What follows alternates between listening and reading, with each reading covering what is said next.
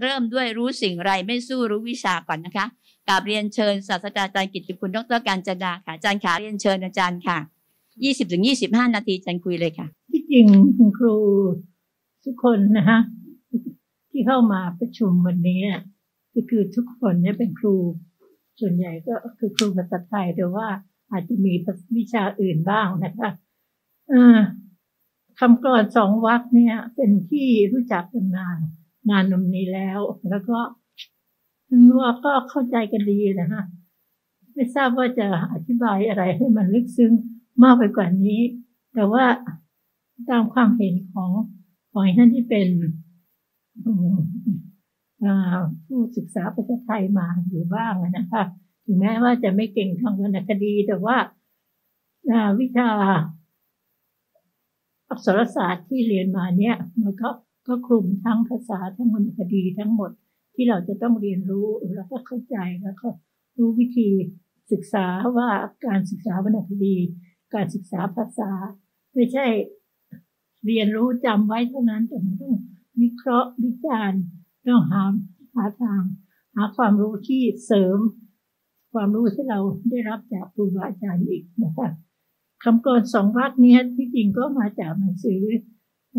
เรื่องพระภัยมณีตอนที่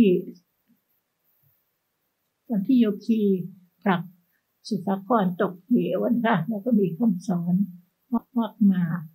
ขึ้นมาให้เป็นคำสอนซึ่ง ถ้าจะว่าไปถ้าที่ฉันอ่านดูก็คือห้าหกเรื่องนะคะห้าหกเรื่องคือเรื่องไม่อย่าไว้ใจมนุษย์ อย่าไว้ใจใครเลยนะคะ ให้รู้จัก รักพ่อรักแม่ เพราะพ่อแม่ความรักของพ่อแม่นั้น จะเป็นความรักที่ที่ให้ประโยชน์ให้คุณค่าสอนให้รู้จักพูด ให้สอนว่าจะพูดอะไรเข้าคิดที่ดีอะไรเงี้ยเลยซึ่งก็เป็นคำสอนซึ่งจับใจแล้วเราก็สามารถจะนำมาสอนลูกศิษย์ของเราได้โดยปกติทั่วไปนะคะทีนี้ เอ่อขึ้นมาวิเคราว่า คำสอนของท่านเนี่ยนะฮะก่อนที่จะพาก่อนที่จะให้สุสครไปไปตามไม่เท้ามาเนี่ย มันเป็นคำสอนที่มีประโยชน์อย่างไร เนี่ยนะอย่างไรอย่างไร ที่สำคัญก็คือ รู้สิ่งใดไม่สู้ รู้สิ่งไรไม่สู้รู้วิชาคำนี้บางทีก็เรา อ่านไปเผลอไปท่องไปบางทีมันที่ไม่ไม่สิ่ง คือสิ่งไรเป็นภาษา สมัยสุนทรภู่นะฮะเดี๋ยวนี้เราก็รู้สิ่งใด ก็เลยอาจจะเปลี่ยนไปบ้างเพราะฉะนั้น ก็ก็ฝากครูทั้งหลายแล้วกันว่า เวลาที่จะ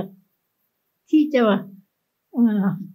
อ้างข้อความใดๆในวัตถุไรในวรรณคดีในหนังสือทั้งหลายก็ตามต้องตรวจสอบดู ให้ถูกต้องตามคำนะคะว่าคำที่แท้จริงเขาคือคืออะไรแล้วเรามาเปลี่ยนเขาไม่ได้จะมาอธิบายใหม่ไม่ได้นะคะทีนี้วิชาที่สุนทรผู้แสดงให้เห็นว่าเราจะต้องรู้วิชาเนี่ยนะฮะทำไมถึงต้องต้องพูดถึงว่ารู้วิชาเรื่องก็เลยพิจารณาเรื่องคำว่ารู้ ว่าเด็กคนเราเนี่ยเมื่อเราเกิดมาปั๊บเนี่ยนะฮะเป็นเด็กแวะออกมาเนี่ย เรามีความรู้แล้ว รู้นั้นคือรู้อะไร รู้ที่จะรอดชีวิตนะคะ ต้องรู้จักพอเห็นนมแม่ก็รีบดูดเลย คือมีความรู้ที่จะรักษาชีวิตให้รอดนะคะ เป็นเป็นความรู้อันแรกเป็นความรู้ตามธรรมชาติของคนเมื่อเกิดมานะคะ รู้จักว่าเวลาที่ทำตัวไม่สบาย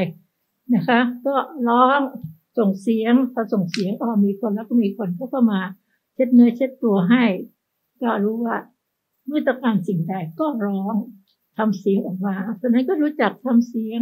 รู้จักเออเอออ่ารู้จักอะไรต่างๆนะฮะอันนี้ก็เป็นความรู้ขั้นแรกที่สุดที่นี่ก็ว่าเออ มนุษย์เราเนี่ยรู้อะไรนะฮะขั้นแรก อันนี้ยังไม่เป็นวิชาแต่เป็นความรู้ตามธรรมชาติซึ่งทุกคนมีอยู่ ทีนี้พอโตขึ้นมานิดเนี่ย ต้องรู้อะไรพิเศษดิฉันคิดว่าความรู้ของคนนั้นคือภาษานะฮะต้องรู้ภาษา ภาษาอะไรภาษาที่จะสื่อกับพ่อแม่ พ่อแม่จะสอนให้ลูกเราเนี่ย รู้อะไรจำได้ไหมคะว่าเด็ก ๆ เนี่ยบางทีเราก็เอาเด็กมาแล้วเราก็บอก อันนี้หู อันนี้ตาอะไรนะก็ค่อยชี้ไปบอกว่า เนี่ยเป็นสิ่งที่เด็กต้องเรียนรู้รู้กายภาพของตัวเอง รู้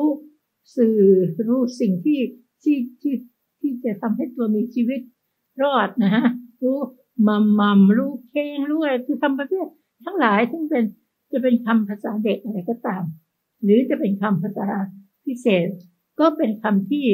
เป็นภาษาที่เขาต้องเรียนรู้ ถ้าเรียนรู้ภาษาไม่ได้ ก็ไม่ไม่สามารถจะมีชีวิตรอดไปอย่างปกติได้นะเขาต้องสื่อได้นะคะเวลานี้ก็มีผู้ใหญ่บางคนเนี่ยป่วยส่งเสียงไม่ได้นะคะแล้วก็เวลาพูดพูดไม่ได้ ต้องทำเสียง ก็ต้องหาทางวิธีสื่อสาร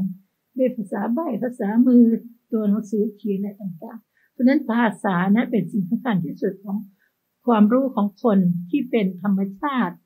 เริ่มจากการเป็นธรรมชาติ แต่ว่าพอโตขึ้นเราก็มีวิธีการที่ทำให้ภาษานั้นเป็นเป็นวิชาเป็นความรู้ เป็นสิ่งที่ทำให้เราต้องใช้ภาษาที่เพราะขึ้นดีขึ้น รู้ภาษาตามวัฒนธรรม รู้ภาษาตามขั้นตอน รู้ภาษาตามสิ่งที่จะทำให้เราเกิดความรู้มากขึ้น นะคะมีการอ่านมีการอ่าน มีการเขียน มีการแต่ง มีเรื่องที่จะต้องไปศึกษาต่างๆนะคะรู้ศัพท์ รู้ที่มาของภาษา รู้อะไรต่างๆ ก็วิชาการทางภาษาก็ขยายไปเป็นเรื่องของวิชานะฮะแต่อย่างน้อยเนี่ยก่อนที่จะไปเป็นวิชาเนี่ยเป็นความรู้ธรรมชาติของคนแล้วที่ต้องเรียนนะฮะเริ่มเริ่มจากภาษาที่ อยู่กับพ่อแม่ เพราะฉะนั้นก็ถือว่า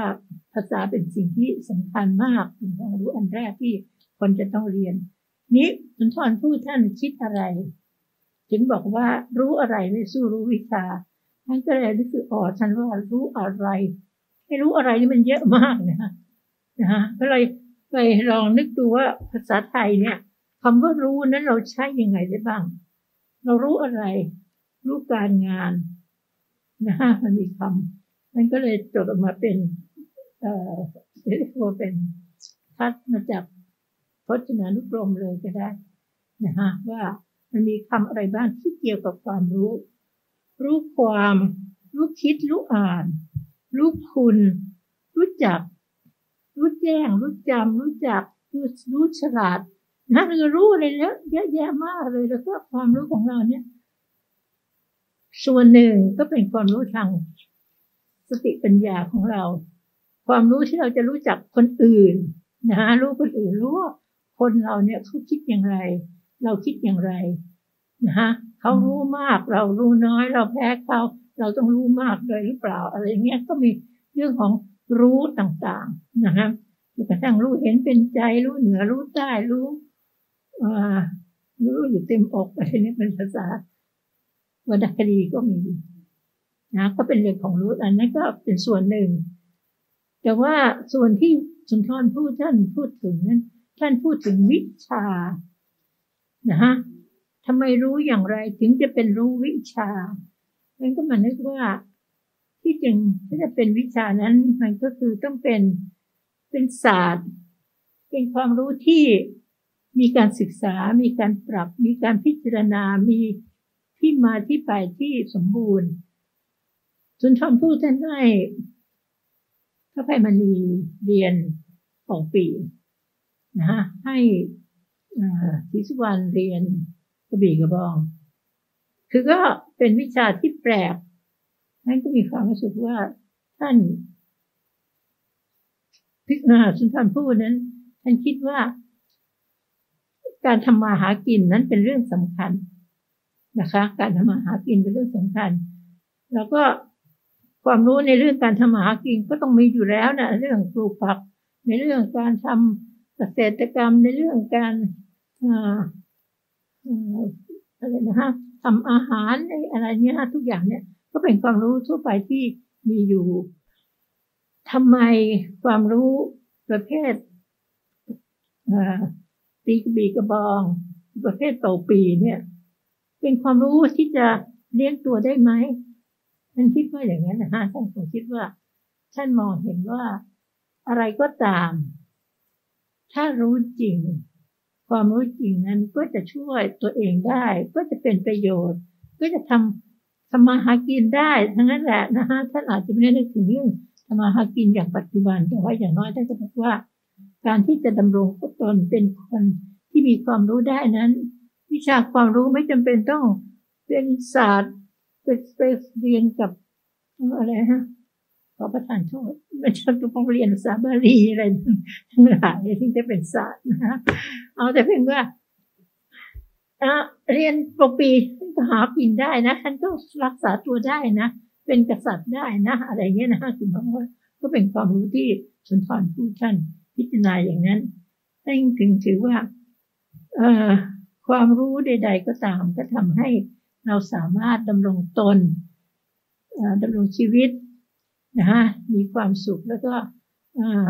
รักษาตัวให้ปลอดภัยได้ ตนมีฐานะอย่างไรก็สามารถใช้วิชาอะไรก็ได้ทำให้ตนรักษาฐานะนั้นอยู่ได้นะฮะหรือถ้าเป็นถึงกษัตริย์เนี่ยก็สามารถจะแค่เป่าปีก็รักษาอกองทัพสู้กับ จะเรียกว่าสู้กับศัตรู อย่างนั้นนะฮะคือคนอื่นต้องใช้อาวุธแบบฟาดฟันไป แต่นี่ท่านก็ใช้ปีท่านก็สามารถทำให้ศัตรูสลบไปทั้งกองทัพชนะได้เหมือนกันอะไรอย่างเงี้ย ซึ่งเป็นสิ่งซึ่งซึ่งน่าสนใจนะฮะคือความรู้อันนี้ท่านจึงบอกว่าอ่ารู้ให้ดีต้องทำให้นึกถึงภาษิตอิสยานที่ ภาคหนึ่งนะฮะคุณครูทุกคนก็คงจำได้ว่ามันความรู้อะไรนะรู้กระจ่างไม่อย่างเดียวแต่ให้เที่ยวการเกิดมันเกิดผลก็เป็นความรู้อย่างนี้นคือความรู้แล้ว ไม่ใช่ว่ารู้สักแต่ว่ารู้ต้องรู้จริง รู้อย่างเป็นวิชาการ รู้อย่างเป็นศาสตร์ที่สามารถจะทำให้เกิดประโยชน์ได้นะคะนั้นท่านถึงบอกว่ารู้สิ่งใดไม่สู้รู้วิชา เราต้องเรียนวิชาความรู้นั้น เพื่อรักษาตน เพื่อประกอบอาชีพเพื่อดำรงความเป็นชาติเรื่อยต่อไปก็ได้แล้วแต่เราจะคิดถึงนะคะมันก็เอาสักแค่นี้พอไหมคะนะคะได้ค่ะ อาจารย์ค่ะนิดเดียวค่ะเมื่อกี้อาจารย์ยกคำว่า รู้แก้ว รู้แก้วเนี่ยแปลว่าอะไรนะคะ รู้แก่รู้ว่าใครเขาจะทำอะไรมานะฮะคือคือเป็นแก้วเหรอคะมีก็ไม่แน่ใจนะฮะ ไอ้เรื่องนี้เป็นเป็นสิ่งที่ที่จะต้องค้นคว้าต่อไป มันมีหลายคำทีเดียวที่ที่ฉันพบแล้ว แปลไม่ออกนะคะ อ่า ขอประทานโทษ นั้นมีมีวรรคหนึ่งบอกว่า เด็กๆนะพอทอตื่นแล้วก็บอก ไปล้างก้นล้างกอย อ่านะฮะแม่บอกไปล้างก้นล้างกอยซะไอ้กอยนี่มาจากไหนทำไมมันมันถึงกอย นะฮะเนี่ยคือคำอย่างนี้ยที่เราเราไม่รู้อยู่ในภาษาไทยเราก็ต้องค่อย ๆ หาไปแก้วนี่ยังไม่ทราบนะฮะแต่ว่ากอยเนี่ยเอ่อคนไปคนมาคือไปต้องไปถามอาจารย์นววันอาจารย์นววันท่านรู้ภาษาไทยเก่าๆภาษาโบราณบอกว่าก็มีภาษาภาษา ภาษาไทยนอกประเทศไทยเนี่ยนะคะเอาหนึ่งเนี่ยกอยแปลว่าก้นบอกอ๋อนั้น ที่เราบอกล้างล้างก้นล้างกอยก็คือล้างก้นล้างก้นนั่นแหละคือคำศัพท์ซ้ำๆอย่างภาษาไทยคำหลายคำที่เราคิดว่าไม่มีความหมายแท้จริงบางทีมันก็มีนะฮะแล้วก็ต้องรู้ที่มา อันนี้ก็เป็นสิ่งที่คนไทยหรือครูไทยเนี่ยค่ะต้องพยายามศึกษาต่อไปดังนั้นก็ศึกษาไว้หลาย ๆ เรื่องเหมือนกันแต่ว่ายังยังไม่ค่อยสมบูรณ์เท่าไหร่ค่ะค่ะกราบขอบพระคุณอาจารย์ค่ะ